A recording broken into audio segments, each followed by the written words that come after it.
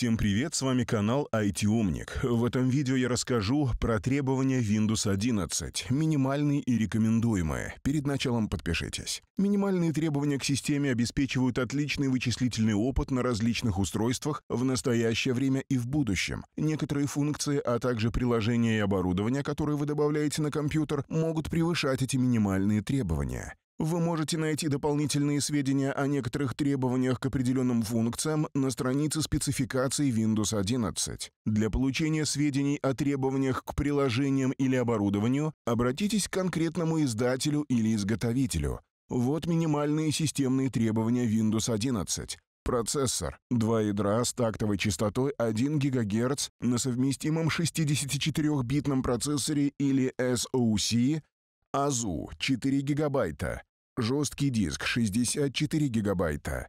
Видеоадаптер, совместимый с DirectX 12 WDDM2.x. Дисплей. Более 9 дюймов с разрешением HD, 720 строк. Системная прошивка. UEFI с поддержкой безопасной загрузки. TPM. Проверенный платформенный модуль версии 2.0.